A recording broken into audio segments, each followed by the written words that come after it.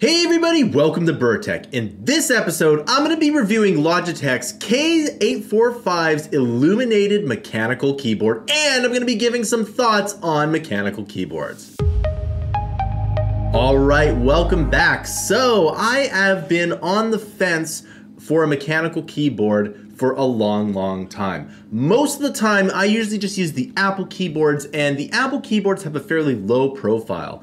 And one of the things that I've learned over the years is I really like using a numpad. And the numpad is something that I almost can't uh, uh, uh, go without anymore. In fact, I used to use a MacBook Air for my uh, my home computer uh, but it doesn't have numpad, so I switched to a PC, and I really do like the numpad because if I need to do some kind of accounting or anything like that, the numpad really does work here. The other thing is that a lot of people said they like mechanical keyboards, and I remember trying one for a, a little bit of time, and it was it was okay, but it wasn't really amazing. So I decided on my PC that I would get a mechanical keyboard. So I did a bunch of research, and as you know, I'm a huge fan of Logitech. They have really good bang for your buck. Um, uh, equipment and I decided to purchase this one here. Now, if you don't know what a mechanical keyboard is, a mechanical keyboard uh, has a lot more um, uh, a lot more distance in between the key itself and the and, and pushing it down here. And if you didn't know this, there's a bunch of different kinds of um, uh, different kinds of switches you can get here.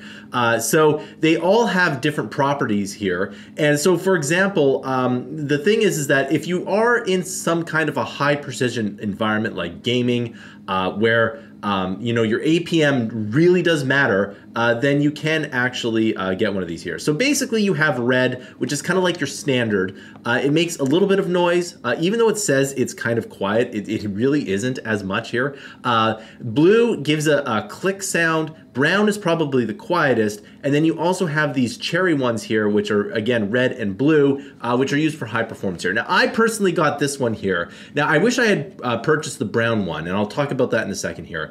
But the the keys actually feel really good here. And the other thing is that it has all of these these lighting effects here, which I think is really cool. Um, you know, uh, so you have the, these randoms here. Now, I could show you on the keyboard because the keyboard's like literally right next to me here. Uh, but you know, they have all of these different. Um, uh, they have all these different kind of lighting things here, and I think it's really good. I think I just put mine on the static one, uh, and all you do is you push the function and F12 here. Uh, the only thing that I don't like about this keyboard, I guess, is that it doesn't have a calculator button. My last keyboard had a calculator button because I'm always trying to, to to crunch the numbers as I run my own business here. But nevertheless, um, the thing is is that um, I actually really do like typing on this. And for the most part, I'm thinking about getting a different kind of keyboard for my Mac here. Now, there is a big problem with this. Um, the, the thing is, is that if you do a lot of tutorials, uh, you will start to see I mean, that's pretty noisy, right? So you'll start to see and hear that versus, you know, if I do this, it's it's not it's, it's not as much here. So I would go with the brown one here because apparently that um, is is the uh, is the quietest one.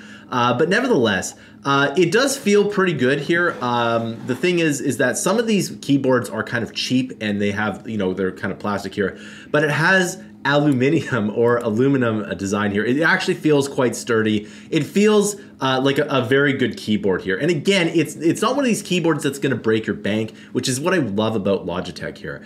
And so as you can see, it also looks really good too. Um, I have to say, I really do like it here. And if you're the kind of person that eats in front of your keyboard, which you probably shouldn't do, uh, but like if you're the, that kind of person here, it actually is easier to clean here. Um, uh, but that's a story for a different time here. You can see some of the, the technical specifications here.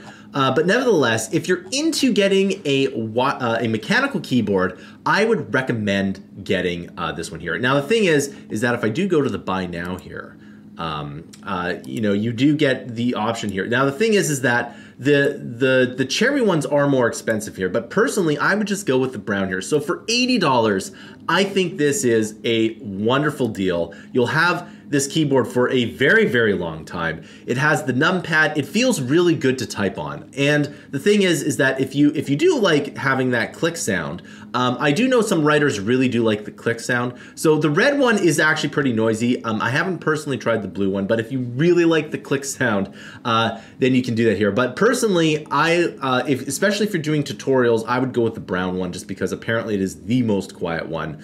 Uh, but nevertheless, here uh, it is really good. It adds, um, it looks good, it feels good, and the quality seems to be pretty good here as well. Now, uh, some people they really like to like the idea of picking up a mechanical keyboard for the day here. I know that Tech Lead has like a, a shelf of keyboards. That's not a bad idea. You can pick out the keyboard that you want for your day. And this is a great keyboard to have on your shelf here. And in fact, I might even do that myself here. I might pick up a new keyboard uh, and just kind of use it for the day here. Uh, but you know, for recording, um, generally I like to um, uh, to do something more quiet, especially if you're selling a tutorial, because a lot of people find the clicking annoying. But if you're doing YouTube, perhaps it's not that bad of an idea. And remember, with tutorials, you're going to get people saying a bunch of different things uh, for for uh, for everything here. So in conclusion, is the K845 mechanical illuminated keyboard a good keyboard? I would say it's an absolute buy, and if you haven't tried a mechanical keyboard, I would highly recommend starting with this one, as it is a very quality one, and it doesn't break the bank here. Now, unless you're a huge gamer, I would just go with one of the red, blue, or brown option, considering which one you want if you if you're if you just want a satisfying regular keyboard click sound, go with the red. If you really want that click and satisfying click sound, go with the blue. And if you want something quiet, go with the brown. It's completely up to you. Uh, unless you're a hardcore gamer, I would not do the cherry uh, ones. Uh, I got the cherry red one. It actually is pretty good here, but then again, I don't really need that APM boost here. But that is my review of the K845 mechanical keyboard from Logitech. I want to know your thoughts down below. Do you like mechanical keyboards? Which one's your favorite? Please post in the comments down below.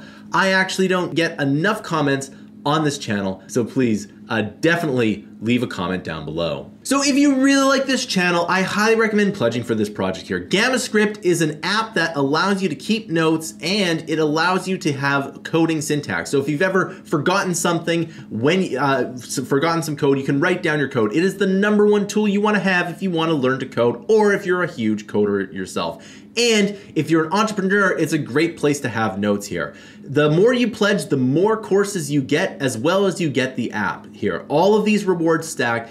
This this Kickstarter is ending soon, so please pledge today. Thanks for watching, and I'll see you in another video.